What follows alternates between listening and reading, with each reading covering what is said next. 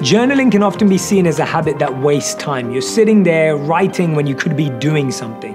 But I find setting your intention and setting your desire for the day is a much more powerful and practical way to now walk into your day and feel like you know why you're there, to feel a sense of purpose. And so for me, setting an intention before a big meeting, before a difficult phone call, before an awkward conversation reminds me of who I want to be in that interaction.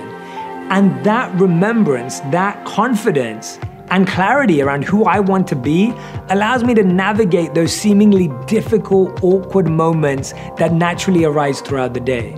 So, this is a time that I take, and as you can see from my notes, none of these are beautiful, none of these are perfect, none of these are fully aligned. They are scattered, spontaneous, sometimes random thoughts, and I allow myself to doodle, squiggle, whatever it takes, because that allows me to feel that it's free flowing. Stop trying to make it perfect. Stop trying to make it look amazing. Just make it the way it allows you to feel like you have a window into your mind. And so when I look at these notes, I sometimes think, I'm just allowing myself to express what's on my mind right now. Need motivation? Watch a top 10 with Believe Nation. Top 10, I got a top 10. Got my motivation high for my top 10. Gotta learn from the wise women and men.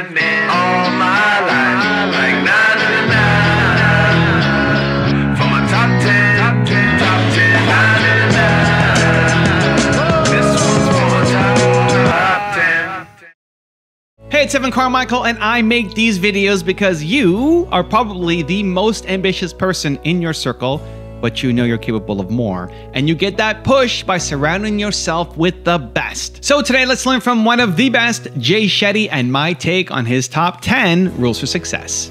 Enjoy. Rule number two be curious. When I was around 16, maybe 15, I, we used to celebrate Christmas every year, and Christmas is probably my favorite time of year. We were talking about it. Like, I love uh, listening to Christmas songs, and I love Christmas decoration. And for me, Christmas is Presents. It's presents, and and so I grew up in a culture where we celebrated Christmas, but Christmas was presents and a family dinner. And because I went to my school in England, we'd celebrate all the religious holidays. So we knew about all the uh, main stories behind every major world religion. And so I remember celebrating Christmas at home, but thinking, I don't know that much about Jesus. And should I not be connecting with Jesus because that's why we even have this day? And so I started going to church in my local area just out of curiosity. I wasn't trying to be a Christian or trying to be a Hindu or trying to be anything. I was just interested and curious to be like, what is it about Christ that created a day that has lasted thousands of years mm. that people all over the world celebrate? There must be something here. And so I feel like we get so scared because we want clear designations. We want like a clear title of I am this or I am that.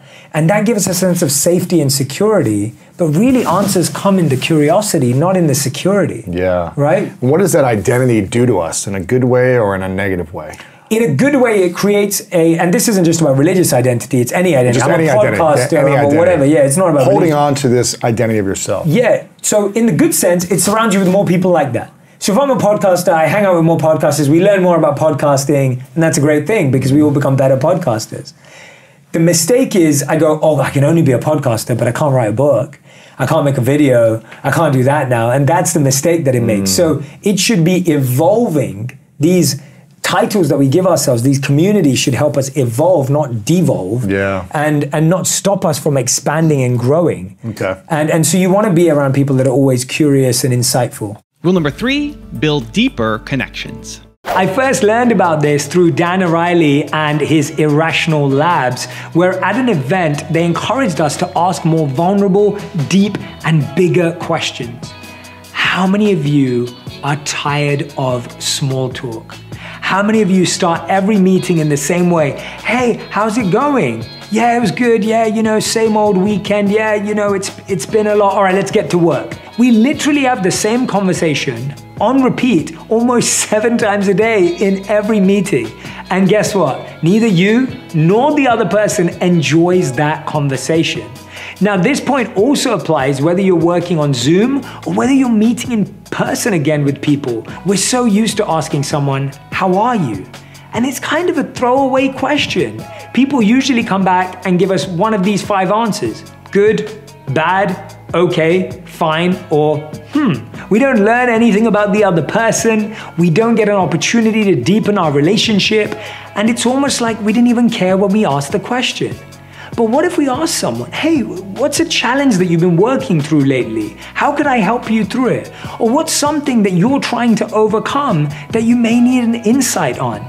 This type of question gives the person an opportunity to really share what's happening. That vulnerability allows you to build a deeper bond and deeper connection, and now you're actually engaging with someone in a refreshing way. Now, if you're like me and you're still spending a ton of your time on Zoom, I mean, I'm recording podcasts and interviews with some of my favorite authors. We recently had Oprah on the podcast about her new book, What Happened to You? And when I'm speaking to people on Zoom, I found that it's even more difficult to build rapport or a connection, especially if you've never met them before in person. One of the ways I've been able to cross this bridge is by being curious but not creepy. Now, what I mean by that is about asking someone about something that's in their background. I think by now everyone knows their Zoom shot and their Zoom location. They have a few things in the background, maybe a piece of art and maybe a picture of their family. And this is such a beautiful conversation starter, especially if you're trying to build a new relationship. Recently, I was on a call with a client and I asked him about a really interesting thing that he had hung on his wall behind him. It was a paintbrush. I was so fascinated that I had to be curious, not creepy, and ask him why he had it there. He said, My first ever job when I was around 14 years old is I used to paint fences. And after painting fences, I got to paint rooms. And after painting rooms, I got to start painting homes. And now he's an executive and a director of a large company. And he said that he hangs this paintbrush on his wall to remind him of where he started. Give the person you're speaking to an opportunity to tell you a story. I promise you will be memorable and meaningful, and if not, hopefully it makes one of you laugh. Rule number four let go. This story was about the journey of a person, and this person came across a tumultuous river.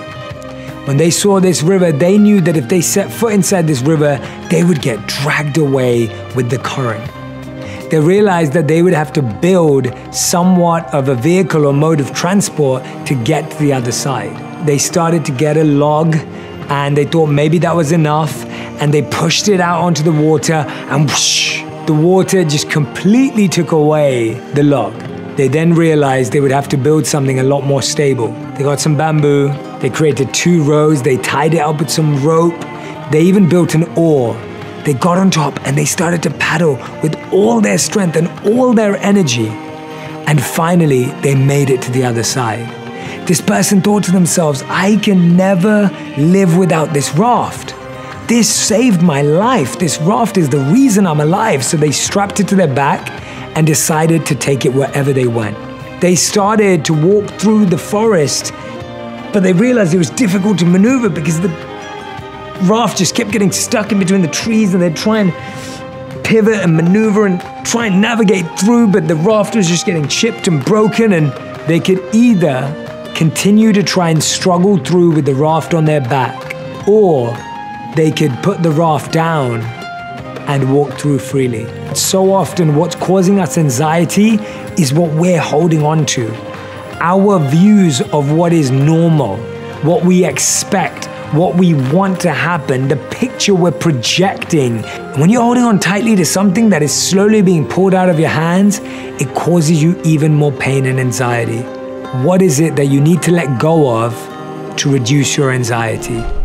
Also, to make sure you're actually taking action after watching this video, I've designed a special free worksheet just for this video. The worksheet will highlight all of the lessons learned in this video, as well as pull out our three favorite learnings and quotes that will inspire you to actually do something. The worksheet will also give you space to write down what your key takeaways are and your specific plan of action to make sure you're getting results. If you want the worksheet designed specifically for this video, absolutely for free, there's a link in the description below. Go click on it and start building the momentum in your life and your business. I'll see you there. Rule number five spot and swap negative thoughts. Thoughts are meant to be spotted, stop and reflect, and then swap. And what I mean by that is if you've got a thought that's repeating, like you said, and is negative, I'm guessing you don't want that thought around for too long. Mm-hmm. So you want to spot when does that thought arrive?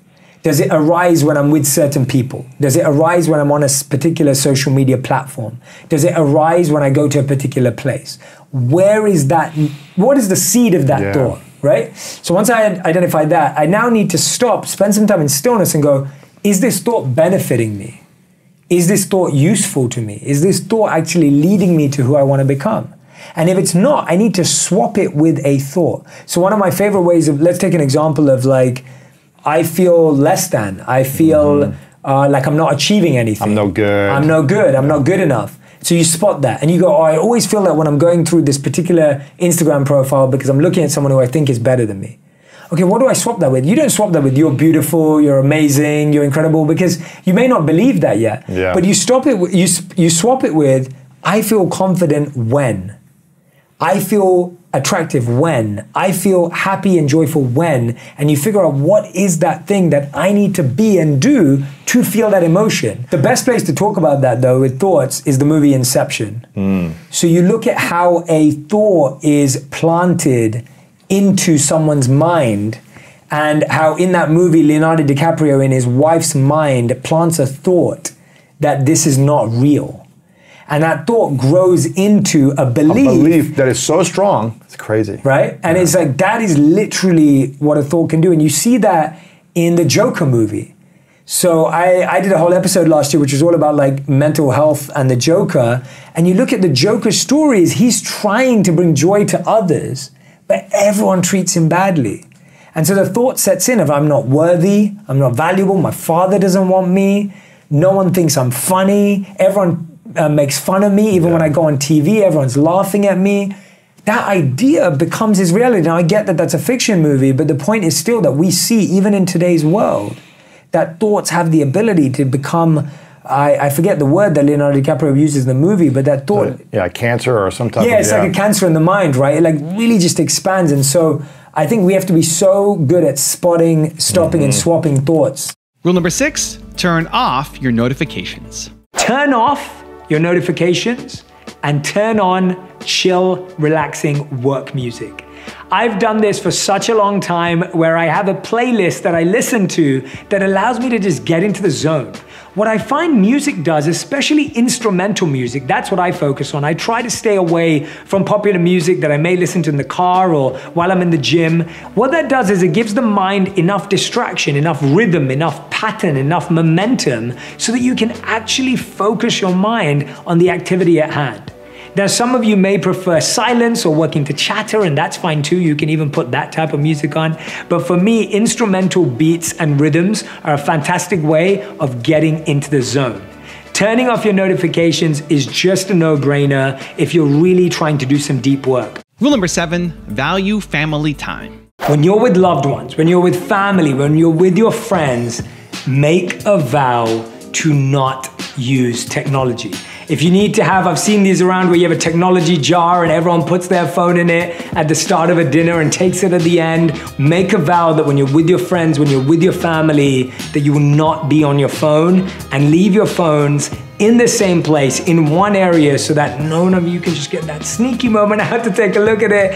When you first start, you may be worried that you're going to be bored of each other. You might even be worried. Well, how's this person going to compete with my phone? How are they going to entertain me? I mean, my phone has access to every form of entertainment. Sit in that discomfort again. And in that discomfort, you're gonna learn something new about that person. You're gonna become more curious. Your mind actually has the opportunity to start building a different bond. Earlier, I mentioned that you want to create no technology times in your home. You also want to create no technology zones in your home. In mine and Radhi's home, those spaces are the dining table and the bedroom. Those are two areas that we want to be technology free, that we've designated as important areas of connection. And so the dining table and the bedroom becomes places and zones in my home where we don't use technology. Rule number eight define the terms. Harvard did a table which I really believe is what mindful speaking is all about. So What is this? So it's called the it's called Harvard List of Emotions, but I I kind of changed the name to emotional vocabulary because I think it sounds better. Okay. Uh, so an emotional vocabulary. If you look at all of the world's emotional vocabulary, it's very limited. We use five words to describe pretty much everything: good, bad, Yeah. okay, fine, hmm. So it's like, how's your week going? Good. How's your day been? Bad. How are you feeling? Okay, yeah, okay. yeah. Right, literally, like we, we use such limited words, and that may be okay for the majority of people, but in your personal relationships, it's so important to expand your emotional vocabulary. Mm. So this table that Harvard has made, which anyone can find just by typing in Harvard list of emotions on Google, what that does is that it shows you that when you say you're sad, what do you actually mean? So it gives you all this list of emotions that sit under the word sad. Are you irritated? Mm. Are you offended? Are you disappointed? Have you been let down? The more you expand your emotional vocabulary, the more you can diagnose how you feel. Interesting. And the more you can tell your partner or your friend, This is how I'm feeling. this is how I'm actually feeling. And, and this is one of the biggest mistakes with words is that we think our words mean the same thing. Now, when you say love, you might think forever. And when I say love, I might think for tonight, right? And, Yeah. and that is literally how the word love or care or marriage or forever gets misused, abused, and thrown about because we both mean different things. And our meanings are based on our backgrounds Our and beliefs. our beliefs, but Yeah. how we were born and Yeah, how our, our parents our culture, our experience. everything. Yeah, it, it forms our meaning. So I really believe that in a relationship, in our communication with words, define words. Hmm. When you say, yeah, we're best friends or friends, what does that mean to you? When we're business partners, what does that mean to you? A contract, in a financial legal sense, is to define the terms. Right. But in our emotional sense, we also need to define the terms. And we don't do that emotionally enough. And that's why we feel emotionally like someone broke the contract. Mm. And you have nothing to hold them to because you never made a contract. You never, commu- you never communicated You never communicated the it. meaning of these words. Exactly. And that's why words are so powerful, but they're only powerful when we agree on the definition. Rule number nine stop procrastinating. If you're someone who finds that you're always procrastinating, you're always overanalyzing, overthinking, and you're struggling to get stuff done, this video is for you. The first step is identifying why we procrastinate. How many of you have ever wondered, why do I overthink? I want to get this done. I want to make progress in my life, but for some reason, I just can't seem to stop. Alexander Rosenthal, who's a procrastination researcher, explains the four types of trigger. We procrastinate because of expectancy, value, time, or impulsivity. People procrastinate because of a lack of value associated with the task, or because they expect that they're not going to achieve the value they're trying to achieve, or because the value is too far from you in terms of time, and finally, because you're very impulsive as a person. What's interesting about understanding where your procrastination comes from is that it allows you to understand what the challenge is and what the issue is without blaming yourself, without thinking that something is wrong with you. And actually, the clearer you get about the value you're going to get from the task, the amount of time you do have to dedicate to it, don't judge yourself. So many of us, when we procrastinate and overthink, start to feel that there's something wrong with us. We judge ourselves, we make ourselves feel guilty, we say negative things about ourselves to ourselves and to others. We start saying things like, I'm so lazy, I'm so worthless, I'm not good enough, I'm not smart enough. This doesn't make you more productive, more proactive, or more effective. How many times has putting yourself down made you lift yourself up? I don't think those two things go together. What ends up happening is that when we judge ourselves for being procrastinators, we create a prison of guilt. This becomes a space that we actually can't break out of, and it's how procrastination keeps us trapped by making us believe that we can't do anything, that we're no better. So we need to stop judging ourselves.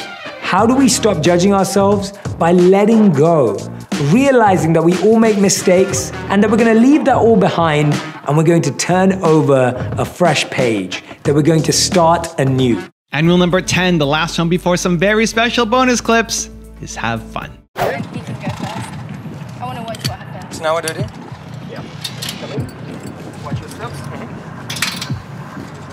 Now it all gets real. How much is fastened? How much? Where am I? Now where am I fastened? Yeah, I'm good, man. Where am I attached to? Now I feel like that's the only thing that's attaching us to the zip line. Just that one hook. Don't don't, don't think about it. Don't think about it. My hand. Oh my god! It all gets real now. You're literally only hooked to one thing. I don't know, where am I meant to, uh, how far should I be? moved Am I doing this right? Okay, no, there's two hooks. That's good. What do you think? I think you should have gone first because you're looking at him. Okay, now. legs I together, know, I know. buddy. I feel like I need the toilet. Yep. Okay, Oh god! cool.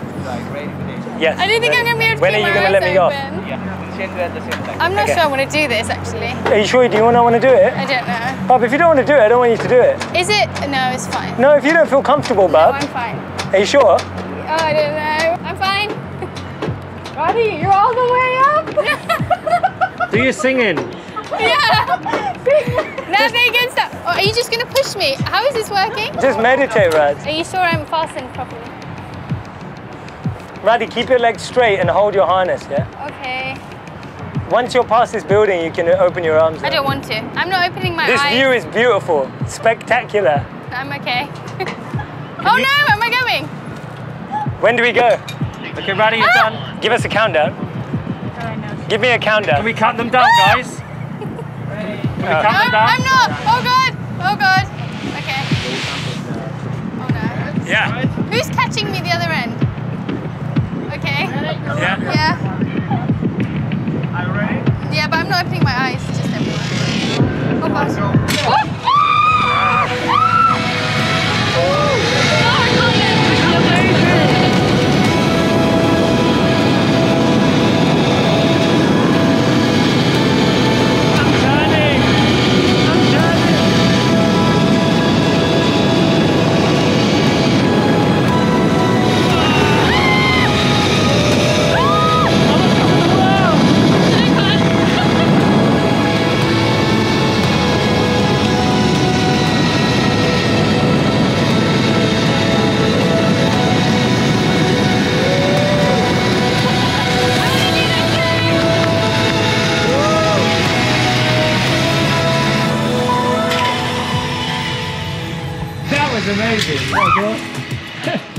you made it, Radhi. I did, but I had my eyes closed 99% of the time. You're not cute. gonna lie. You did it, though. I did it. You did it. The initial bit was scary, but this was It's fine. always the initial bit. I started turning sideways. I know, right? I'm good, man. I'm good. It was amazing. It was a lot of fun. Radhi, you did it. Now I've got a special bonus clip that I think you're gonna enjoy. But before that, it's time for the question of the day. I wanna know what was your single biggest takeaway from this video and your plan of action for the next week. When you watch a video and just get motivated, the science says you have a 35% chance of actually following through on your goals. That, that's not good enough. No, not for you, Believe Nation. We gotta do something. But when you write it down, and you create a specific plan of action for the next week, that number jumps to 91% chance of you following through. And when you commit to somebody else, like leaving a comment on this video, it jumps to 95%. You need to follow through on your goals. So what was your single biggest takeaway from this video and your specific plan of action for the next week? Put it down in the comments below so I can celebrate you. Now, how many times have you ever woke up in the morning and had that conversation in your head? There's one voice that says, Go back to sleep. You've had a really tough week. You've been working so hard. And there's another voice that says, This is going to be the start of a great week. You've had enough rest. Now's the time to get up and you're going to perform at the highest level. This is a conversation between the mind and the intelligence. The mind is the monkey mind, the intelligence is the monk mind. The monkey mind just wants to sleep, be lazy, lethargic, and not focus on getting proper rest. You probably were forced by that monkey mind to stay up the night before and watch a show till 2 a.m. anyway. The monk mind wants you to have a proactive start to the day, proactive start to the week. So here's what's happening we have five senses sight, smell, touch, taste, and hearing.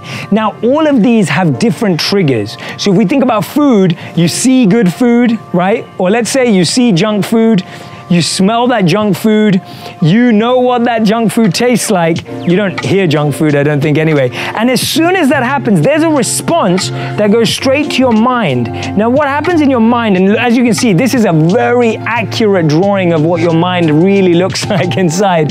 But this area of your mind, it reminds you of your past experiences you've had. So when you see those fries, you smell those fries, you see those fries, you touch those fries, it sends a response to your mind. Your mind knows what those fries taste like.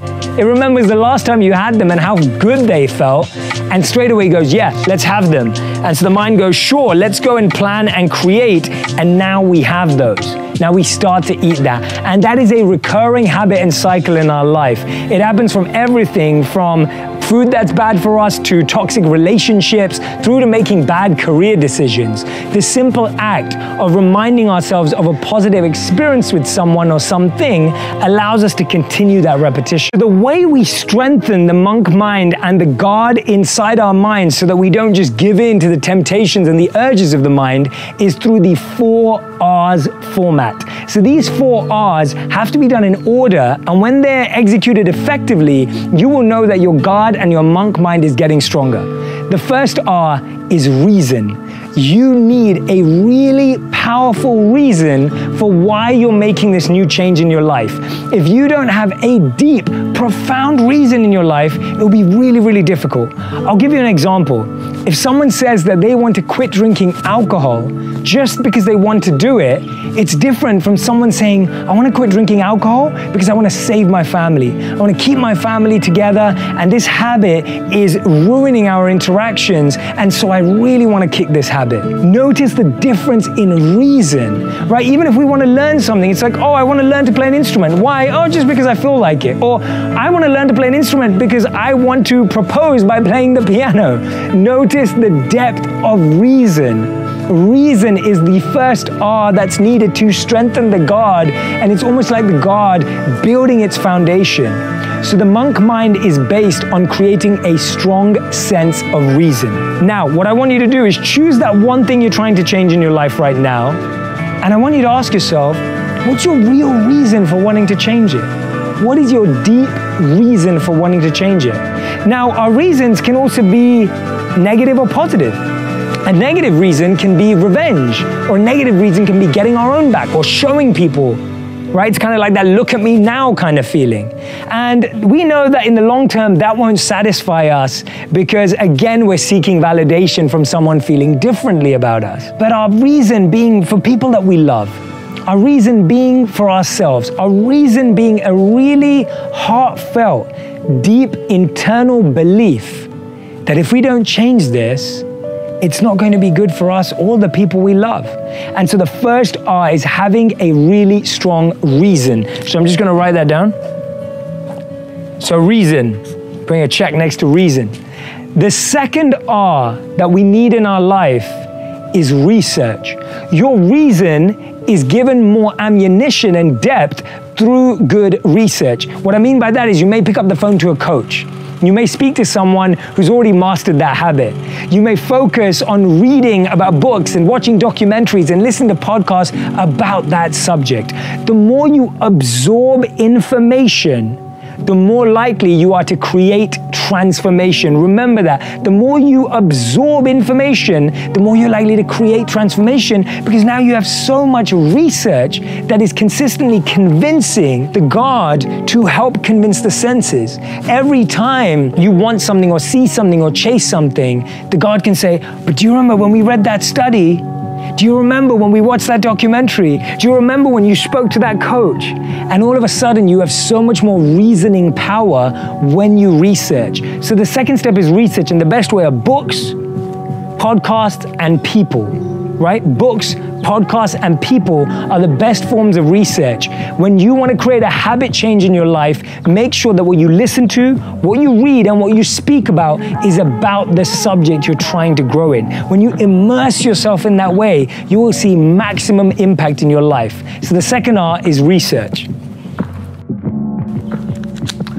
The third R is repetition. Repetition. If we don't consistently make this a priority in our life, it's just not going to happen. We have to repeat that action. So we have to prioritize around it. And this is something I say often, right? If you really want to make something a priority in your life, it has to be a small step and a big priority. Often what we try and do is we try and change every area of our life and then naturally nothing changes. But the better thing to do is choose one area and make it your top priority. So if you want to start going to the gym, make that the one big thing you're going to achieve that day and set a time that you can actually make it. Don't set it at an awkward time. I know someone who literally used to struggle working out. So instead of that, what she would do is when she would roll off the bed, she would have her yoga mat and all of her gym equipment laid out right near her bed so she had no excuse, right? It was the first thing she saw in the morning and so she could naturally start exercising straight away. That also is true for not triggering the senses, right? Repetition also includes if you're trying to stay off sugar, if you just don't have any sugar items in your closet or in your cupboard or in the fridge, then there's no chance that you're going to have it. So you can actually save yourself by removing it from the trigger of the senses. So that is repetition.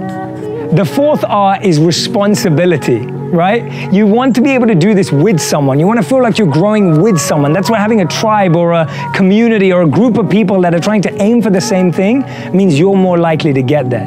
You know, if you're trying to start a new habit like cycling more, if you're cycling with a group of people, now guess what? You're not just relying on your motivation, you're relying on 10 other people to motivate you as well. If you're going to the gym with a friend, responsibility and accountability makes you more likely to get to your destination.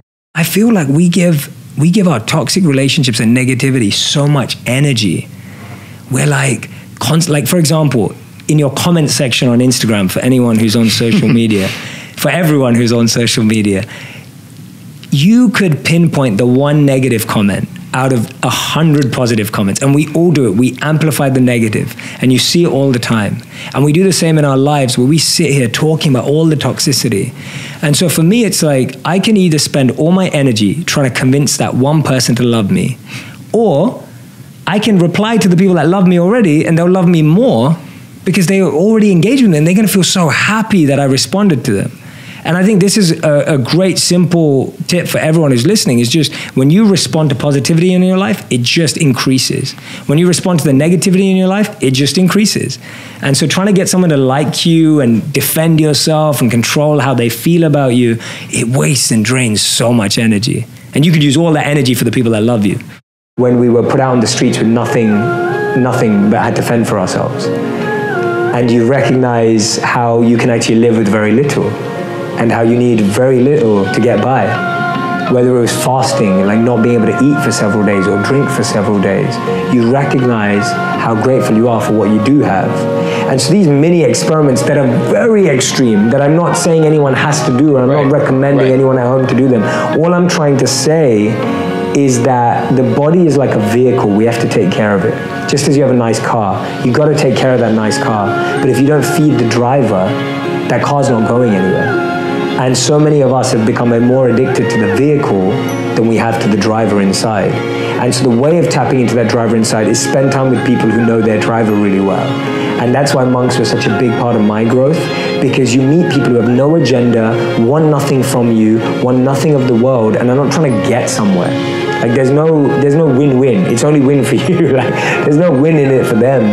And and being around the energy of realized people who have that realization, who've been with their consciousness for 10, 20, 30, 40 years, that's a huge part of it. We're being built for a job, or we're being built to be in a box. Right. We're being built so that we fit into society. And I find it funny, right? It's like when you're a kid, you're told to fit in. Like what you probably remember this: stay in line, Yeah. like fit in. Yeah. Everyone has to wear a uniform. Everyone dresses the same. Everyone has to do this. And then when you grow older, what are we all trying to do? We're all trying to stand out. It's weird. It's like your whole life you were told to fit in, and then as soon as you grow older, it's like, oh, you need a personal brand now. You need to stand out. Like, do you know your own voice? You need to stand out.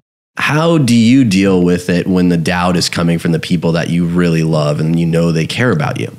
Yeah, it was hard. I didn't go to my grad. I graduated, but never went to my graduation ceremony. So my mom doesn't have a picture of me holding my degree, and that was a big thing for her because I moved to India. I just went, So I never went to that, and that was a big thing for her. And actually, my parents, I'm very grateful. My mom and dad are actually fairly liberal and supportive of anything I've decided to do. It's my extended family that's had more opinions Yeah. and been more involved in kind of stirring stuff up with my parents, if that makes sense.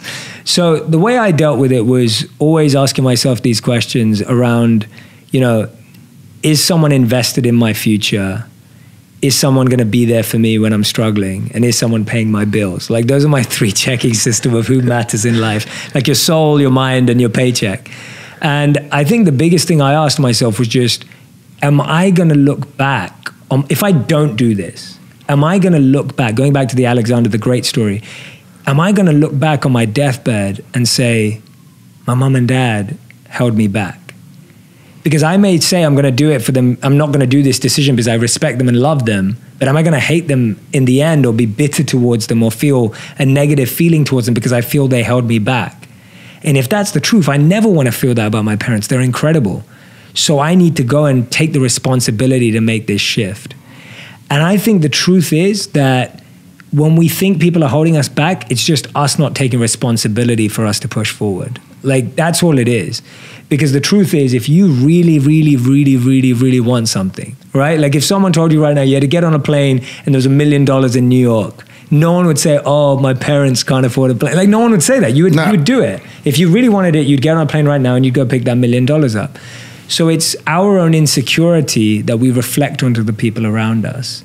And I think it's really important. I, I get it. There are people who are toxic around us. I get it. I had that too. There were people who were just like, literally, people said to me, like, you realize you're going to fail at being a monk. You realize when you come back, no one's going to hire you. You realize when you come back, no one's going to want to be with you. You realize, you know, there were so many things. Like, people like, you know, you're going to be socially dead. Like, no one's going to care where you are. There was so much of that but it didn't get amplified because I was strong in my conviction. So the way I dealt with it was just keep strengthening your conviction rather than trying to weaken the argument. Because the, the, the opinions of others will get weakened when you strengthen your own, right? That's how it works. You don't weaken someone else's to strengthen your own. We're so used to in our life having instant judgment, defining a moment and giving it a label, good or bad, in the moment. And I thought, how do I present a concept to the world where we can laugh at ourselves and realize that sometimes our instant judgment or our instant labeling processor isn't always correct? Yes. How do we how do we get that? So this script or narrative that I shared in this video is around a gentleman who goes to buy these cookies because he feels like having a few cookies because his flight's delayed and he sits down to eat these cookies and the gentleman opposite him where you're sitting right now starts to take cookies out as well. And he's thinking, how's this guy? And the guy looks a little rugged. He looks a little scruffy. He doesn't look put together. So naturally, all of our biases, our unconscious biases start coming up and stemming up. And we start thinking, oh, he looks a little shady. or maybe he doesn't have money. That's why he's taking my cookies. And we have this impression of I, me, and mine. These are my cookies. How can he take them? Only to realize when he leaves that your cookie box was in your bag and that gentleman was sharing his cookies with you.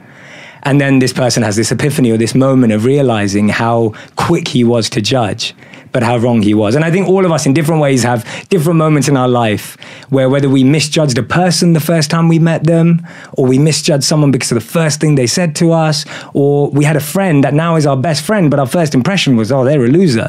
And all of a sudden now we think they're amazing. Emotional intelligence to me is being able to be aware of yourself, self awareness, being able to know yourself. That's the highest form of EQ. Right. Like being able to say, I know when I'm at my best, I know when I struggle, and I know when this is a limiting belief or not. And then being able to process all of that. So we're not helping people.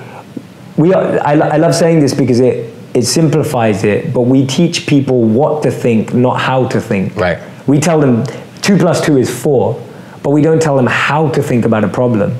And that's why when you're faced with a new problem and you don't have a formula for it and you don't have an equation for it, Right. you're like, oh, I'm stuck, right? And, and life's like that. Like, when in life have you used a formula to solve a real situation Oh, in life, even it. business? Yeah. Like, when has a formula helped you? Yeah. But we're taught that formulas solve equations. But we all know that there's no formula to business, success, happiness, meaning, etc., etc., etc. Yeah. I literally skip over negative comments, genuinely since day one. And I remember reading them at the start. And so I'll, I'll add this: there have been times when I've looked at negative comments and be like, huh, that's quite funny. Like, you know, it's Oh, they're yeah. funny, they're true. But overall, I try to respond to everyone who said something positive, and I rarely put any energy into put anyone who put anything negative because I don't want to change their mind. They're entitled to their belief.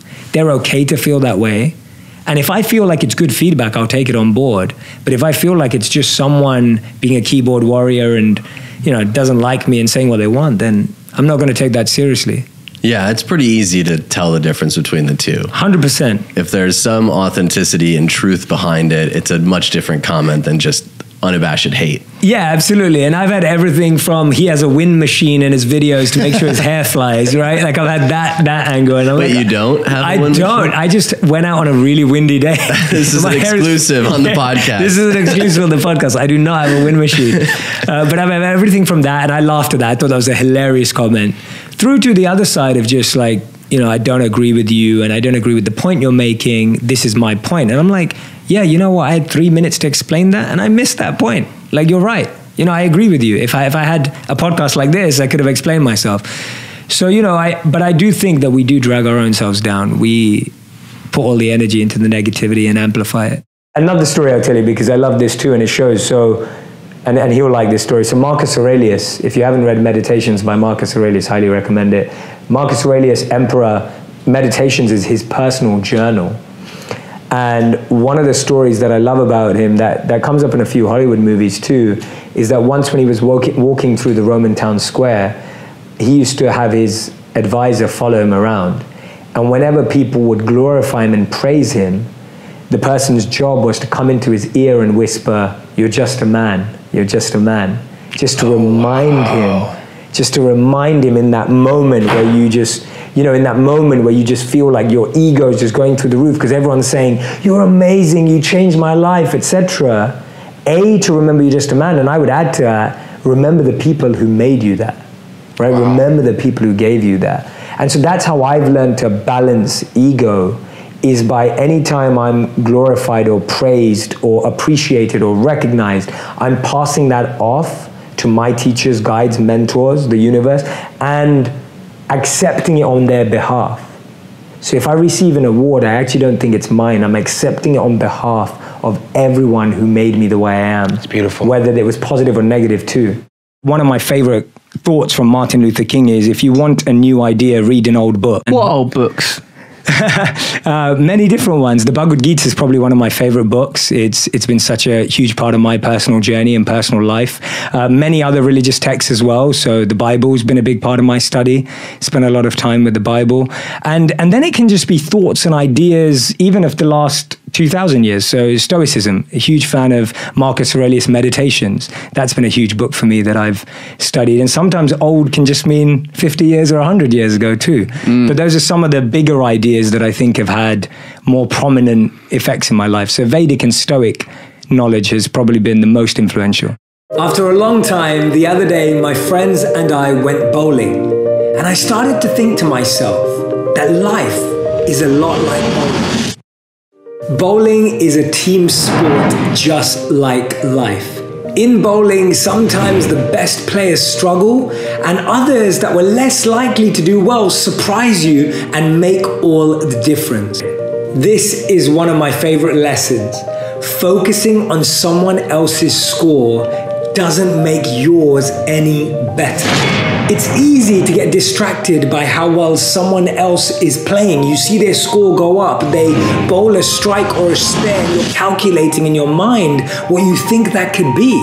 But all that does is it distracts you from your game. Similarly, in life, focusing on someone else's Instagram grid doesn't make yours any better. Focusing on what someone else is doing for work or what they're driving doesn't make yours any better. Focus on yourself, focus on your own role, your strengths. That will make all the difference.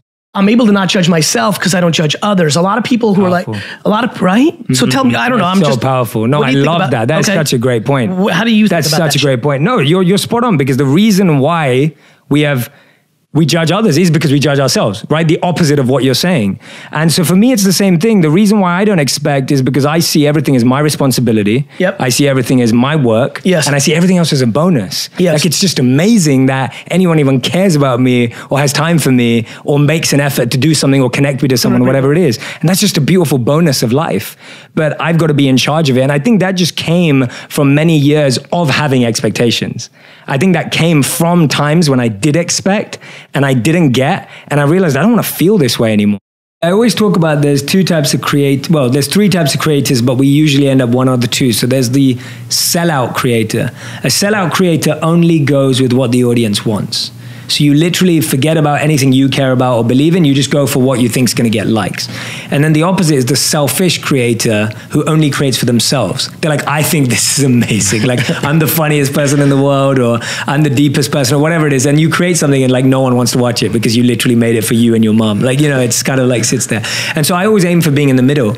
I recognize that I want to stand for what I believe in, but I also want it to connect and resonate and have a positive impact on other people's lives. So that's my starting point that every piece of content should be true to me but it should resonate with people it should make a difference i set a goal very early on that my videos were only 75% complete and i say this everywhere actually i've never said it often on, i've never said it on a podcast but i've said it often in, on stage and at events my videos are only 75% complete which means I mess words up often. So you'll see that sometimes my sentence wasn't perfect. I mispronounced a word. I developed a lisp on a word because it was in flow and I said it and it wasn't right, but it felt right. And other things where I finished a shoot and we forgot a shot that was huge for the video, but I'm like, it's all right, 75%. So my goal with every video is 75%. And I've had to do that because I've realized that if I wait for 75 to 99, I'll be waiting for a year oh. and a half or three years. Like, two videos. Yeah, I have two videos, right? And we release three videos a week right now. And so for me, the goal was always 75%. And I personally I love think, that. Yeah, and I personally think that's a great aim because 75% is realistic, it's quality. So you're not settling for less. But 75 to 99 is such a long journey. I think the first thing is you've got to get comfortable being you. See, no one will ever be comfortable with you being you if you're not comfortable being you. And I think we first try and prove ourselves to other people. So my favorite, this is like I talk about this all the time. It's it's probably one of my favorite pieces of insights. It's from a writer named Cooley in the 1900s, and he said, "Today I'm not what I think I am. I'm not what you think I am. I am what I think you think I am." So what he means by that is we are living in a perception of a perception of ourselves. If I think you guys think that I'm nice, then I feel nice. If I think that you think I'm weird, I feel weird. So we're constantly living through the perception of a perception of someone else. So my first thing is get away from that. Take that away. Figure out how you feel about yourself. So I would say happiness is how you feel about yourself when you're by yourself. Right? Like how do you feel about yourself when you're by yourself when no one else is around? We've all heard the story, and I'm just sharing it again to give context. We've all heard the story of the two wolves or the two dogs, however you want to phrase it. And if you haven't, I'll, I'll tell it now. It's, it's a story of how inside of us there are two dogs, two wolves, and they're fighting for supremacy. So inside you, one is the initiator and one is the responding. Your whole life, you've been feeding and listening to the initiator. So your initiating wolf is strong, powerful, bulky, aggressive, because it's been fed well your whole life. And your responsive dog, your responsive wolf, has not been fed, has not been listened to. And so it's weak and feeble and meek and, and humble and doesn't even stand to fight. So when they two come to fight inside of you, this, this wolf's just gonna eat that wolf right up. And that's what's happening right now. So for all of us, whatever two wolves you're seeing, whether it's your mind and your intelligence, whether it's your intuition versus what your parents say, whether it's expectations of society versus your expectations of yourself, like whatever two wolves you have inside of you, the one that wins is the one you feed and the ones you have been feeding. Now, if you're at a point where you are and, and where I am, and where all of us are in different scenarios of our life, where we're trying to shift and start feeding the other one, it's hard because the other one's just been fed more. It's stronger. It's able to push you. Hmm. It's able to dictate you. And this is where detachment's so key that detachment doesn't mean that you own nothing. Detachment means that nothing owns you. And most of us have become owned by our darker wolves. Most of us have become owned by the self that we don't want. So, so that conditioning has been drawn up. The only way to break it is to disrupt the pattern, to really break that. It has to be, and this is why I talk to people about immersive experiences. Like you meditating for 10 minutes a day on a headspace, that's wonderful and I recommend it, but that's not gonna shift this in a drastic way. Right. You are going to have to go and spend a week out in Joshua Tree with the shaman. You are going to have to take a break in- Jerusalem. in, Jerusalem, right? We were both in love with Jerusalem. Like, instead of going on a holiday this year, you are going to have to go on a three day intensive transformative retreat. And the reason why I'm saying all these different things is they all have different budgets, they're all available in different countries. You don't have to go to India and live with monks, Right. but you have to do something, and it has to be immersive. Because when you get immersed in something, then you're giving something the power to break your pattern. Right. And I think the challenge is we're trying to solve it by a little thing every day, which is a good start to get us going. But if you're really serious about a massive shift in your life, wherever you're seeing that energy coming from for the right side, the responsive side, Yeah. you need to go water that. You need to go feed it. You Yeah. need and you need to go give it energy. And that's what I think we find that, and that, that's where I think people struggle. They still want to go on their beach holiday. They, they're like, no, I can't give that up. I need that. Or this weekend, I still need to go and do up my house. And it's like, well, no, like, just imagine what would happen if this weekend you just went on a three day retreat that changed your life. Like, imagine if you just gave that energy. in terms of finding your purpose, that seems like it's the first step, is getting comfortable with yourself, understanding that. How do we take that next step towards finding that purpose? Yeah, so for me, I, I define it as your passion is for you, your purpose is for others. So your purpose is when you use your passion to serve others. That's the, the, the link. So for me, the focus actually first becomes what's your passion? Like what are you passionate about? What do you enjoy doing? And then the miss the parts that that's usually missed. So everyone hears follow your passion, find your passion. It's like a cliche, it's everywhere. The difference is get really good at it like get so good at it and everyone always misses that point you can be as passionate as you want about tennis but if you're not really good at tennis no one's going to care and no one's going to take note. And i think that's often missed that not only do you need to find what you're passionate about you need to turn it into an expertise which is undeniable. And that requires the hard work that requires the work ethic that requires the early mornings that requires the training in whatever field you want to be. And then and that's going to make you successful. So when you figure out your passion and you get really good at it, you're going to become successful. But you're only going to be happy when you use that success to help other people. And then you've got to figure out that link to purpose. So you're going to find your purpose. So when you realize, hey, I'm really good at this, I love it, I get a lot of happiness from doing it, when you start using that to make a difference in other people's lives in any way, it automatically switches into a purpose. So you don't need to find your purpose, it's just an automatic evolution of finding your passion and being really good at it. And that's where we're messing up, that we haven't found something we love and we haven't found something that we love that we've got really good at. So what we usually do with our lives is we do things that we're not good at and don't love, right? Or we do things that we're good at but don't love. And we need to switch into the spaces of things that we love but are not good at and get really good at them and start finding out things that you are good at and you do love. There's different ways to play the game. Some people spin the ball, some people go for a straight direct roll, some people use two or three fingers, the list continues. And the truth is, it's exactly the same in our lives. You will see some people succeeding in a certain way and others doing it completely differently. The goal is to find your way, your method, your approach, the direction that works for you without trying to copy or mimic or imitate someone else. And we've all experienced this. Sometimes your ball ends up in the gutter. I'm sure you've had that before. Sometimes your throw was completely out of control and your ball went directly into the gutter. Or maybe sometimes you actually felt well prepared and confident, but the ball still ended up in the gutter. In life, just like that ball, sometimes we feel we're in the gutter. But there's something to learn from that. And just like the ball comes back, when we learn through our experience, we get another opportunity to improve, another opportunity to try, another opportunity to succeed. As Oscar Wilde said, all of us are in the gutter, but some of us are looking up at the stars. Sometimes you hit a spare. You threw your best shot, you got the angle perfectly right, you prepared with everything you had, and that one pin is still up there. Sometimes, despite our best efforts in life, we don't get what we want. Not everything aligns, everything doesn't go to plan. Life is a lot like bowling. Keep your eyes on the ball, your concentration in the game, and your mind out of the gutter. And in the end, we realize we have to be just like that bowling pin. No matter how hard we're hit by life, no matter how hard we're hit by others, we have to keep stepping back up. That has happened so many times when a video you think is gonna hit and it doesn't, and then there's a video you're like, that's never gonna hit, and it does. And that's where I've reconciled my self doubt, is recognizing that I don't always know what's gonna work, and that's a beautiful thing. And that I've been, and, I, and I've been feeling this often that I've got to where I want in life, just not in the way I imagined it.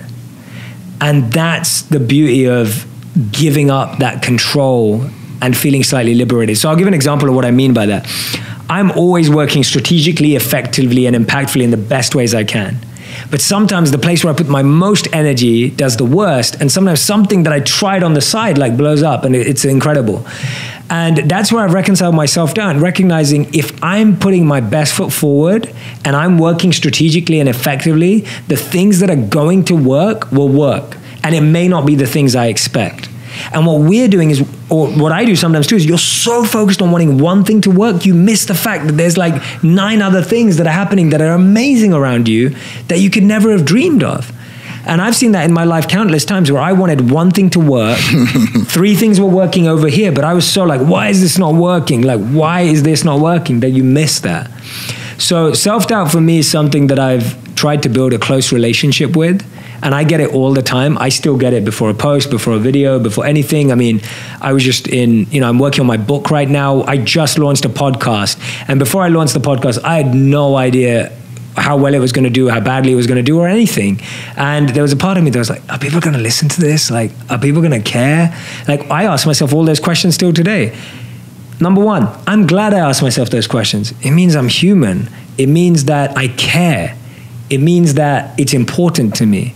I speak at so many conferences, and everyone always asks me, Do you still get nervous? I go, Yes, I get nervous because I care. The day I stop feeling nervous, that means I don't care anymore. If I don't care anymore, that means I don't love what I do anymore. So for me, the first thing is I recognize that self doubt just shows me that I care and that something's important to me.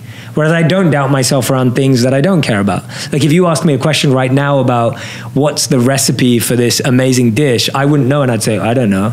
And I'd be okay with it because I don't care about cooking. I'm not a cook, right? But if it's something that you care about, you'll, you'll have self doubt.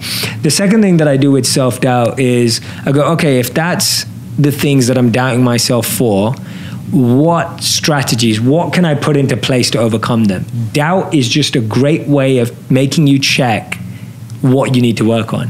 So if my doubt is, oh my God, not enough people are going to listen to this. So I'm like, okay, so how do we make it more listenable? How do we make the content better? How do we make the conversation better? If my doubt is, um, you know, I don't feel like people are going to like this topic. Okay, what themes am I good at talking about? What is, you know, it's it's a great checking system to improve what you have. So don't look at self doubt as negative. Turn it into a positive by actually asking yourself those questions, right? So build a relationship with self doubt because it's never going to go away. Right. Don't avoid it. Don't avoid That's it. the worst thing. Definitely don't avoid it. It's never going to go away. So if it's never going to go away, build a happy, positive relationship with it. So my positive relationship with it is you're showing me what I need to focus on to feel less of that. And most of us feel self doubt because we're not researching, we're not building knowledge, we're not building expertise. And I think that's the biggest thing for me is when I feel self doubt, it's because I, I'll, I'll give a perfect example. When I was thinking about doing a podcast and you're doing interviews, you don't just become an interviewer. You have to watch interviews. You have to absorb good interviewers. You've you can't just be an interviewee. You have to watch good interviewees. And so for me, a lot of us start something and we feel self doubt because we've never learned that skill or we've never observed that skill. So my focus is if I want to be a good interviewer, I need to watch good interviewers. If you want to be a good stage performer, watch good stage performers. If you want to be a good monk, watch good monks, right? You don't become something good without seeing it. So self doubt comes because you haven't upskilled. And the great thing today is you can do an online course. You can upskill from here. You can upskill from there. You can just listen to this podcast and watch you guys who've done it for such a long period of time. That's a seeing someone who's done something consistently. That's the best way of getting good at something. And then your self doubt will disappear. So self doubt can only be cut by the sword of knowledge. It can only be cut by the sword of upskilling. So that's where it starts. Right? Love is a doing word. It's active. It's a verb. And if love is a verb, then service is the action. And that's why love and service have to be so intertwined because I feel that today when we talk about love, the definition is so skewed. When people hear the word love, That's maybe what the problem is. that's what the problem is. That's why I prefer service to love, because service is the activation of love. When someone loves someone, they serve. That's how love works. And I think that's why when we talk about love, I agree. It's just because of phonetics, definitions, breaking it down, love has become so badly abused. Like the word love is so abused and misused in our lives it really is, right? you say I love you to people you don't love. People use it to manipulate people. We just throw love around. Right. And as much as it should be everywhere, it's also sacred. Love's also sacred. And that's why you were able to experience it because it was experienced through a sacred mechanism. You were able to experience love. Yeah, and, and I and I've never felt it like that before because it also was this sense of self love as well. Yeah. And that's what you felt in Jerusalem too Right. when you went. And that's what I felt. And, and that's what I feel that we experience love when it's through service and engagement in that atmosphere. We don't just experience it every single day. I personally also, having become a, I feel like I've become even more of a seeker since being involved. And that's opened me up to alternative ideas, alternative ways of thinking, learning from all different traditions wherever I can. And, and I think that's a really important part. I think the challenge with being a immature seeker, in my definition of it, is you find something, it sounds cool, and you go, that's it, there's nothing else. Mm. And then a real seeker goes, well, that is it. But how can everything else even enhance this and hmm. make this even greater for me if this is where my faith is or this is where my belief system is? So I'm someone who genuinely loves learning from people from all different walks of life and backgrounds because I feel if I was presented with a deeper, more meaningful philosophy and life structure, I would adopt it. That's why, because I'm open to that. We were left on the streets for 30 days to fend for ourselves and to figure it out. Just that's it. You've got your clothes that you're wearing. There's no money, no food, no shelter, no nothing. Figure it out. And day one, I'm like, okay, like you know, maybe it's a joke. Like maybe maybe they're gonna come back at night and be like, no, guys, you know. So I'm trying to figure out what it is. This is training mode, and it's really interesting what what your mind and body does. So the first thing your mind and body does when you have nothing is you have fear. The first thing you feel is fear. And that we can all relate to in life. The first thing you feel when you all of a sudden feel that your plan and you have no nothing organized and you have no structure and shelter and all of this stuff that we now rely on, you have fear. Now the fact that you're there on your own and you don't have a phone and you can't just call someone up and you don't know the city that you're in, your next thing is survival. Right. Fear leads to survival mode. So you're trying to find food from everywhere, you're trying to hoard it, you're trying to get it from everywhere, you're trying to keep it, you're trying to figure out like how can I get lots of this so that I can take care of myself. And you start just becoming crazy almost. And it's funny because those two experiences are so similar to what you see in society today. Yeah. Fear mm-hmm. breeds survival mode, which breeds greed. And Yeah. hoarding Yeah. and wanting Lack to of have abundance, Lack of abundance, exactly. And so you do that in that scenario for like, remember this is a 30 day experiment, it's Oh. crazy. So you do that for like the first week. You do that for the first week where you're just trying to find anywhere, steal, look, etc. Not steal, trying not to steal, but like finding fruits off trees, whatever. You're just trying to do whatever you can, finding anywhere to sleep. And, you, and you're fending for yourself. It's all about you. The interesting thing that, uh, that happens in week two is that you recognize that you recognize that you really want to when you make a difference in someone's life they'll help you. So by week two you start recognizing oh if i help villages if i help this old lady if i help this old man if i serve the people around me then they'll give it to me anyway and we saw people inviting us into their homes we saw people giving us food we saw people cooking for us just because we were helping people Wow. and you start to see community you start to see the value of collaboration you start to see the value of energy exchange you start to learn how your heart and soul leads to other people giving you their heart and soul and, and you experience that. Now, the interesting thing is that goes on for about two weeks, and you think you've kind of mastered it. Right. And then the biggest challenge comes when this is what you're meant to grow to, and this is where you go beyond feeling good about serving and getting an exchange. And this is not spoke about as prominent today because I think we live in a world where people aren't self-loved and self-fueled enough to even consider this. And so we talk a lot about self-love today, which I highly believe in. We talk a lot about non-judgment of yourself today, which I highly believe in. But this principle is beautiful. We recognize by the final week that actually we were far stronger and capable than a lot of people on the planet, a lot of people in the village, sorry, that were disabled, that couldn't see, that had lost their eyesight, that couldn't speak, that couldn't walk, they had broken limbs.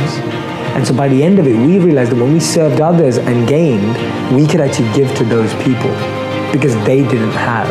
Because they weren't young men like we were. They weren't able men like we were. They weren't skilled like we were. And So you can even go another level. you could go another level. It wasn't just that you could take care of yourself, you could go another level. But those three stages of transformation show us exactly the three stages we need. The first is getting over your greed and ego. The second one is recognizing that you have value, and when you serve others, there's a value exchange. And the third, when you're feeling full and overflowing, you can then overflow to others. And so for me, that 30 days like has transformed my life ever since because I was able to experience all of the experiences we experience today, but in heightened mode. Like I didn't know where I was going to sleep or where I was going to eat. And, and when you experience it at that extreme and you're able to work it out, now in with, you have more perspective, you have more gratitude, you have more ability to navigate that emotion again. And you recognize that it is an emotion. So for me, that was one of the most transformative things that I've ever done. Wow, that's powerful. Yeah, and it just really took me on an internal journey of overcoming fear, overcoming greed, and always recognizing that you can always go that one step above, and recognizing that you don't, you know, as soon as you think you've figured it out, recognize that you haven't, and that there can be another level. And I think for all of us, that's a great reminder for me that when I think I have it figured out, that's the biggest reminder of there's still another level you've got to go. I think on a personal level, I value deep thought because I loved rap music. So I used to listen to a lot of rap music growing up, and so people like Tupac, Eminem, Nas, etc. Their lyrical abilities and their lyrical expression was a huge part of me growing up. And I used to spend a lot of time writing lyrics myself and playing with words, and I always enjoyed expressing things through poetry or spoken word. And when I read these books, a lot of them felt like poetry and spoken word. There were a lot of uh, not just rhyme, but there was a lot of creative expression there. So I almost was very interested or intrigued because of the way the philosophy was being communicated. But I wouldn't say I was looking for it or seeking or any of that sort. I was just like, oh, this is impressive. This is interesting thought. Maybe I can apply it in my music or maybe I can use it here. It was mm. less about the search for knowledge or wisdom. It was more about, oh, this could be cool to talk about here or this would be interesting to extract from. And when did it begin to change? When did your attitude towards theological texts or great uh, uh, spiritual works change from a kind of utilitarian curiosity that it could be magpied into a, hold on a minute, there's something in here that's going to alter me? So I think the big thing for me was the the first time I met a monk. And it's something that you can usually you can't ask someone like, "Oh, when was the first time you met a monk?" Ah, my first monk. God, I was just a slip of a girl then, back in Kent, picking apples on the coast. They go, so tell me, what was your what was your first No, experience? So, so I remember I was around 18 years old, 17, 18 years old, and I found out from a friend that this monk had been invited to speak at a university. And I was pretty uninterested to go. I didn't wasn't really fascinated by it. And I actually remember saying to my friend, as long as we go out afterwards, I'll turn up to the event. So if we go to a bar As afterwards. usual, Yeah. dragged even to, to the feet of a monk by lust. Yeah, literally. And so he said, Yeah, I promise you. And he was getting into spirituality and interested by these things. So I went along. And I was captivated. Who was it? So this man's name is Gauranga Das. He lives in India. He's I think you might have met him at the Eco Village. So he built the Eco Village. Ah. So you might have met him when you went there. in Mumbai, In the, Mumbai. the Krishna Consciousness Eco Village, where it's like 100% carbon footprint free. They grow their own fruit, fruit and veg Yeah. using, let's face it, human poo. like, uh, like it's uh, there's animals there. They're growing plants. Fragrant flowers. It's sort of amazing place. It's sort of beautiful, isn't it? You're It like, is. I expect you're like me, thinking, what systems could we replicate in order to save the world? Absolutely. And, and that seems like one. So you met. What's it, So I met him. His so name again? Gauranga. So, so he came to. He was speaking, and just just to put it in context for everyone listening, this man is Indian. He has a strong Indian accent. He's not necessarily externally attractive to the kind of person I'd be attracted to. At that time, I was attracted to Tupac. Yeah, exactly. And women. Right. And rags to riches stories. I loved celebrities and mm. influencers and people who'd made money. Like that's who I looked up to. People who'd gone from nothing to something. Mm. And then I'm here listening to this man wearing robes. And I'm totally captivated. I'm just like, wow, he's so fascinating. And the reason that he was fascinating is because he was talking about selfless service. And he talked about how real meaning, real happiness, real fulfillment from life comes when you're able to plant trees under whose shade you do not plan to sit. So you want to give shelter to others, you want to provide things for others without expecting something back from them. And at that time, that idea just penetrated through my whole being. Why? Why, when it's directly contradictory to your experience up to that point, why is this message relevant? So I think two things. One thing is I was looking for a thrill in my teens, and that's when I was getting involved in all sorts of wrong ideas, wrong activities, or wrong in the sense of things that we wouldn't recommend or want our children to What do get you mean, involved drugs, in. sex, fighting? Totally, yeah, all of that, violence, um, petty theft, all that kind of stuff. And I wasn't doing it because I wanted stuff. I was doing it because I wanted a thrill in life. And when I saw him and saw the way he was living, he had made that process thrilling. Like he looked happy. He looked more happy, more content, more fulfilled than anyone I'd ever seen. On top of that, he was extremely charismatic. And, and I just thought, I want to get to know this man. And then I found out that he'd given up jobs at some of the biggest companies in the world. And he went to IIT and had studied at IIT, which is the MIT of India, the Indian Institute of Technology. He was like a gold medalist at this place. And he'd given that all up to be a monk to serve humanity. And I thought, wow, that's, that's unbelievable because he's given up everything that everyone that I know is chasing, but he's happy and he's found meaning and he's found that fulfillment that I feel is just emanating from who he is. So it was the first time in my life where I'd gone from not looking up to someone who went from nothing to something, but someone who'd gone from something to nothing. And, and, I, and that was a massive paradigm shift moment for me and a, and a massive moment of just, wow, there is more out there. And, and I constantly say this, and I say it often it's you can't be what you can't see. I would not have wanted to be a monk if I didn't see a monk who was fulfilled and happy and had had this power about him. And up until that point, anyone that I'd seen that was rich or successful or beautiful or had a beautiful looking model girlfriend or whatever it was, they still didn't emanate that happiness for me. Hmm. So I saw that very early on, not in the extreme sense. I didn't have celebrity friends or anything, but from what I saw, I could very clearly see that material things weren't making people deeply happy.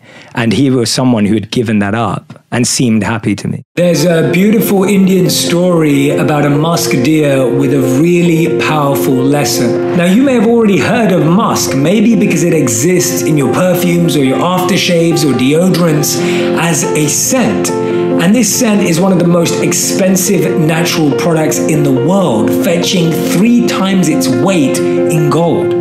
Now, when this deer comes across this aroma, this scent, it becomes completely captivated.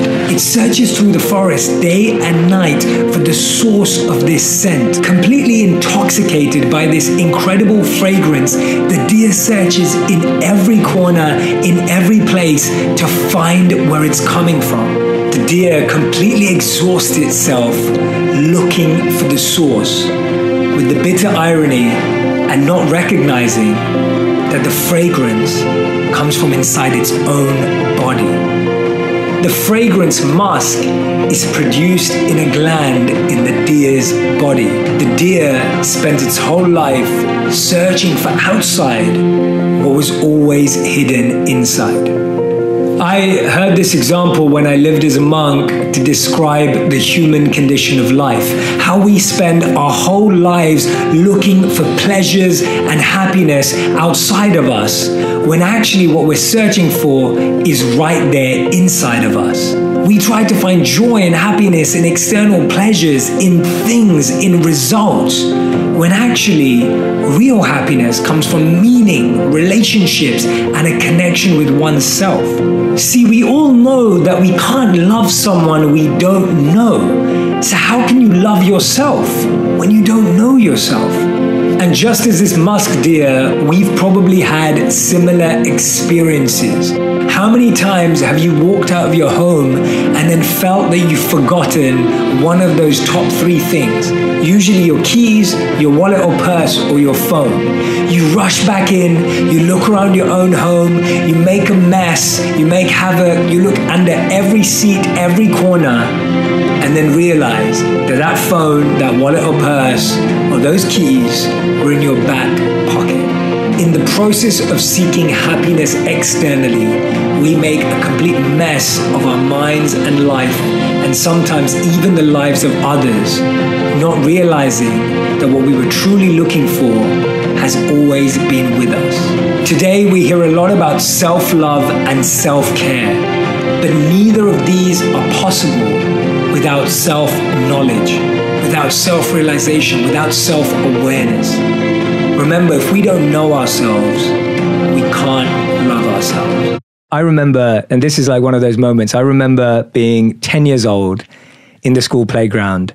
The cutest girl at school had just found out that I fancied her, like every other guy at school liked her.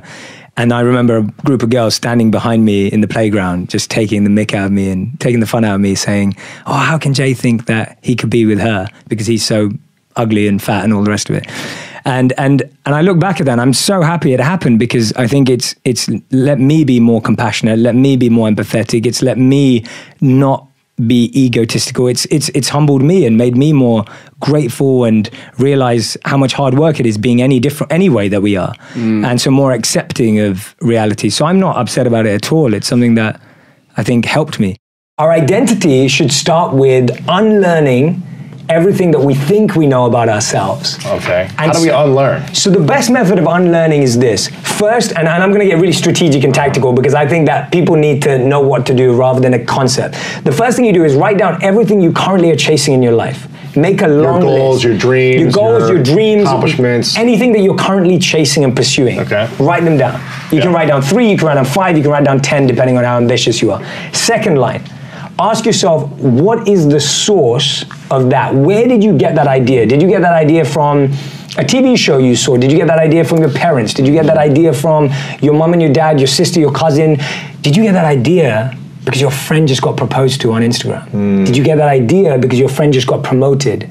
Did you get that idea because you just broke up? Right. Or did you get that idea because you just feel it when you do it, that you feel alive? So Ask give me, give me a that. specific example that you had when you were 15, 18 was like a goal or accomplishment that you were chasing and where it came from. Absolutely. So my my goal when I was young was to be an investment banker. Uh-huh. And when I really asked myself, where did that come from? It came because in my community, small community in London, the most successful person financially was an investment banker. Mm-hmm. So I believed you had to be an investment banker to be successful. Right. So when I asked myself that question, where does that come from? It comes from society's version of success, not mm-hmm. mine. And then the third thing you ask yourself is, well, then what is mine? What is coming from inside of me? And if you just do that three step process, now what you're doing is you're filtering out the noise and you're starting to listen to your voice. The thing is, you've got a voice inside of you, but Yeah. it's quiet. It's like, it's like Jay, like take note of me, like Lewis, Right, like, right, you know, right. and it's just like trying to get through, and the noise of everyone else's opinions is so loud. so this way you filter it. We always have been trained to focus on the results. So people ask, "What do you want in life?" And I'm like, forget that. That's the worst question to ask someone.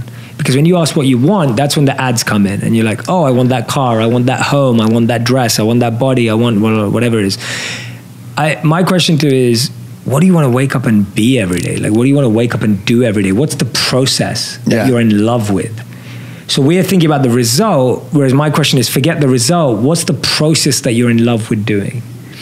So start there first of all. Don't start your journey of saying, I want to be a movie director because I want to you know I want to hit the blockbuster charts. I want to do this. Don't make it about that. Like don't don't be like I want to be a singer because I want to be Ariana Grande, right? Like that's not the point. That's just a result. Do you love singing every day? And I realized this with a very honest question to myself. I'm really passionate about football, soccer. I absolutely love the game.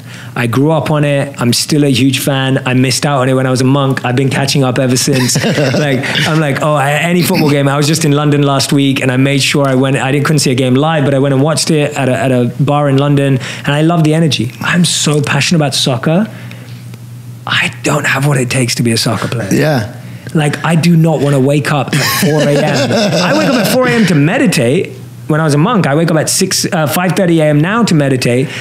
I do not want to wake up at 4 a.m. to go out on a raining pitch and play soccer. Like I don't want to be in the gym for four hours a day. I want to meditate for four hours a day, but I don't want to me- uh, play soccer for four hours a day and then be in the gym and train. I'm not envious of any athlete in the world because it takes a different type of mindset. I really believe that everything we say, uh, that beautiful thought from Gandhi where he said that when what you think, what you say, and what you do are in line, then you'll experience harmony.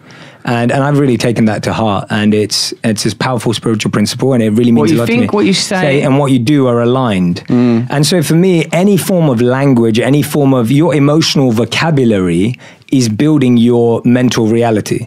And I think people forget that their vocabulary is defining their life. You are creating your life on a daily basis by the words you use. So for me, and, and I'm not saying that I feel that way about everyone else. I'm saying that's how I feel about that word. Someone may say, "Oh, when I say a swear word, it, it makes me laugh." For me, it doesn't. That I would only swear when I felt bad I felt something negative towards something. So for me, that had negative emotions, negative connotations, and negative uh, intention attached to it. So I wanted to remove anything from my vocabulary that I felt was negative. So even as simple as, and I've done this very recently, but it's changed my life, instead of me saying I'm busy or it's been a busy week, I say I'm having a productive week.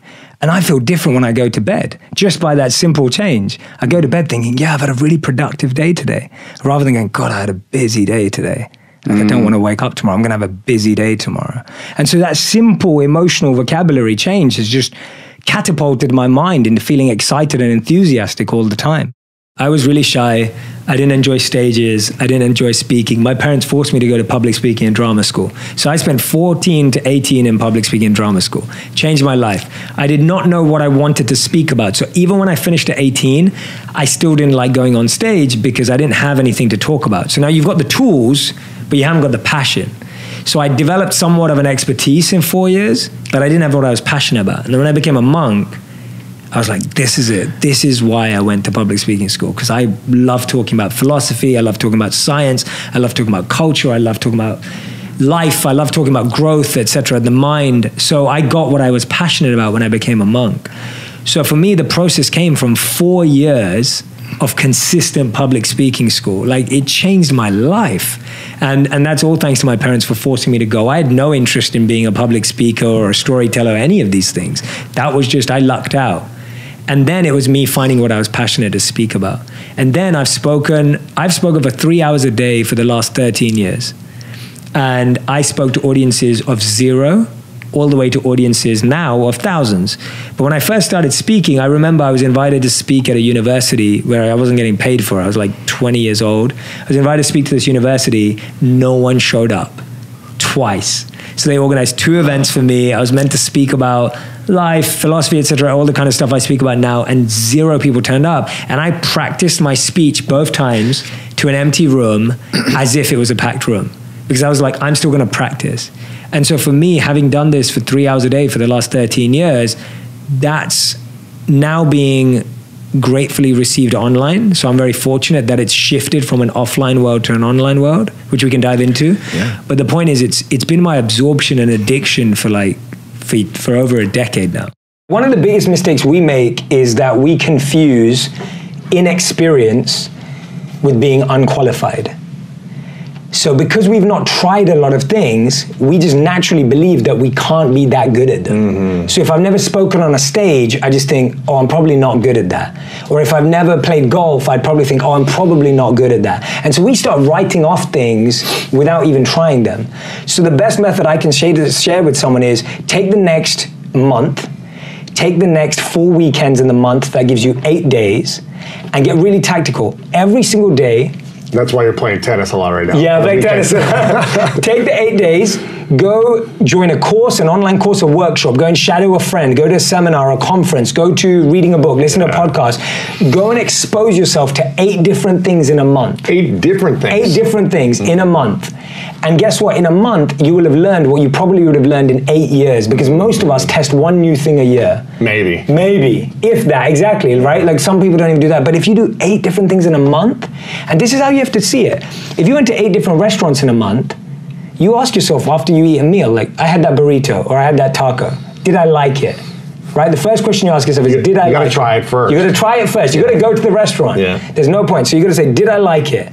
The second question you ask yourself is, why did I or why did I not like it? Mm-hmm. Like, why is so important? I think too many people just go, Yeah. I like it or I don't like it. Why didn't I like it? And the third question you have to ask yourself, really, really simple, is do I want to do it again? Mm.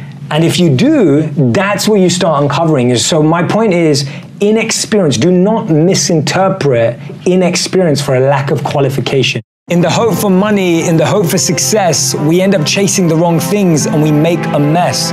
We end up with less than we started with, end up with more issues than we bargained for. Whilst climbing that ladder and that stairway, we forget why we started climbing in the first place. Once the king of Bhutan was asked by an interviewer what the GDP of Bhutan was. He was surprised and shocked. He replied by saying, In Bhutan, we don't just measure the GDP, we measure the GNH. Instead of just measuring the gross domestic product, we measure gross national happiness. In the process of getting older, we forget the real goal of life. If you could make a little less and spend more time doing what you love, would that make you happier? Don't trade your happiness for what you think you need. Things can never make us happy because they're temporary and limited, but experiences can last forever. Too many people are working hard on things they don't love, to spend money they don't have, to buy things they don't need, to impress people they don't like. When we create our identity around what we do, a career, a job, an occupation, we can never be happy because we're basing it on something external. But when we create an identity around who we are and what we want to be and become, then anything is possible. And remember, we become successful by what we get, but we become happy by what we give. Don't get the two confused. I start off the chapter with this beautiful thought from Charles Horton Cooley, and I love telling it because it's just it's just the best. And I think it was written in like the 1900s. And he said, "Today the challenge is I'm not what I think I am. I'm not what you think I am. I am what I think you think I am." It's crazy, man. And it's like, it blows my mind every time I say it. It gives me the chills, like I feel it. And the reason why I start with identity is because I think that's the root of all our challenges. And the first step to thinking like a monk is starting at the root, not starting at the symptoms or the superficial or the surface level, but let's go to the root. If you're playing a role, if you're wearing a mask, mm-hmm. If you're dressed in clothes that are not yours, then you end up living a life that's not yours. And in the book, I give this example of method acting. Yes, with Daniel Day-Lewis. Yeah, I'm. I'm a massive movie junkie, and I love method actors. So people like Heath Ledger, of course, from the Dark Knight series. You've got Jared Leto. So Jared Leto, when he played the Joker in, this is not in the book, in Suicide Squad, Uh-huh. he used to send dead rats in the mail to his co-stars. He did not. He did because he was trying to get into the mindset of how someone that perverted would behave. And then Daniel Day Lewis, when he was filming for Gangs of New York, he's actually wearing these coats that are centuries old so that he can get into character when he's it, off camera. Yeah, when he can feel it, right? He's not wearing watches, he's not carrying around his mobile phone, they're speaking in the accents, and he talks about how he actually went crazy. Because guess what? When you fake being someone for so long, you think it's your reality. Mm-hmm. And that's what happens to all of us. We play a role at work, we play a role at home, we play a role with our family, we play a role with our friends, and then we think that role is us. Right. And we lose ourselves. And to me, that is the core reason why we're chasing things that are not important to us. The envy actually is more of a expression of how we feel about ourselves rather than how we're perceiving someone else. It's actually so much more about how comfortable we feel with who we are, how confident who we feel with who we are, how much self-esteem we have, how much self-assurance we have. Envy is more a root of that than it is of the fact that someone else is doing well. It's less about the fact that someone out there is amazing, making waves, doing something that you want to be doing. It's more about how we feel about ourselves and it's experienced in that way of looking at someone else and reflecting back on us. Social circles, family circles, someone else has done amazingly in the exams, someone just landed a new job, someone else just got promoted, and everyone's looking at you going, What are you doing? Right? What have you achieved? Where, where are you today? Where have you got? Right? What's happening with you? Tell us about you.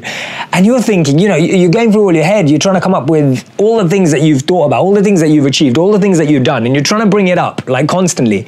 But you're struggling, you find it hard because you're now measuring your growth based on someone else's. You're now measuring your success based on someone else's. And that is the biggest challenge with envy that one of the biggest challenges it brings in our life is that it forces us to start measuring our sex uh, sorry our success in comparison to someone else's. That is the biggest challenge with envy.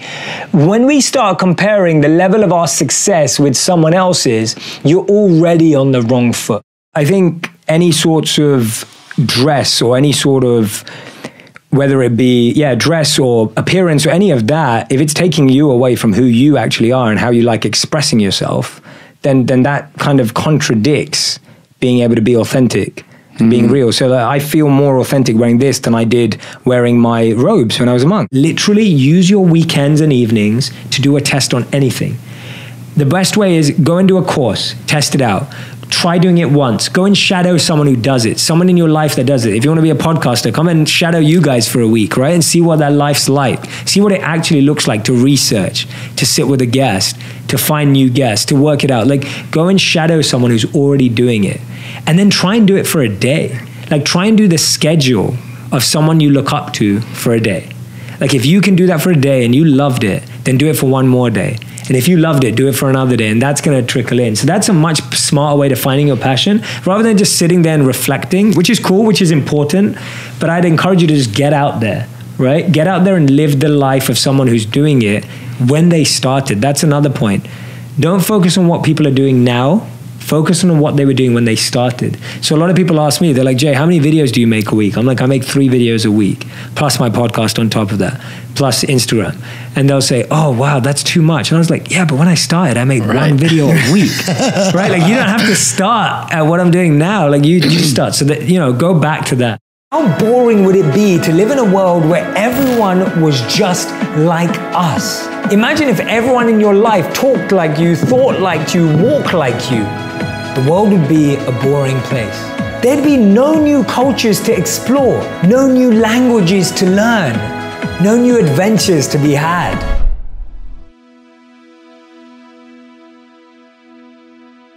If you want 10 more amazing rules from Jay Shetty, check out the video right there next to me. I think you'll love it.